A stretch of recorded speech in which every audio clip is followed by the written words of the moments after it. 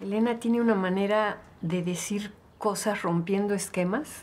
Yo creo que es una de sus características. Te sale con algo muy genial, usa o una metáfora o, o, lo ve desde una perspectiva totalmente inesperada. Entonces era muy divertida. Es una persona leal, o sea, incapaz de traicionar, incapaz de engañar en la causa social, digamos, pero también en las causas individuales.